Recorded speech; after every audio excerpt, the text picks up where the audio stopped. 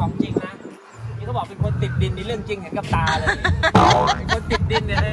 ใช้ได้ใช้ได้ห่วงบ้านอยู่ไหนโมเดซอยเลยถูกใจ